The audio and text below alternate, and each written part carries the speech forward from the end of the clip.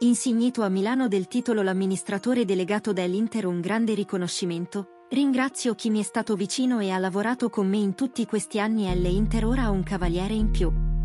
Niente metafore o soprannomi, ma pura realtà l'amministratore delegato Giuseppe Marotta è stato infatti insignito del titolo nella Sala Verdi del Conservatorio di Musica Giuseppe Verdi di Milano.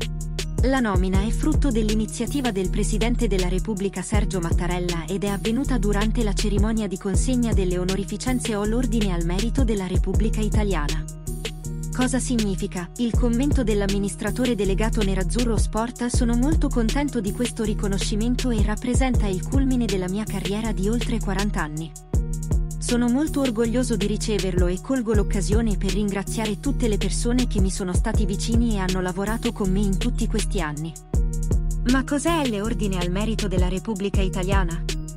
È il primo degli ordini cavallereschi nazionali ed è destinato a premiare i meriti acquisiti verso la nazione nei campi delle lettere, delle arti, dell'economia nel disimpegno di pubblici uffici attività svolte a fini sociali, filantropici umanitari, nonché per il lungo illustre servizio nelle carriere civili militari.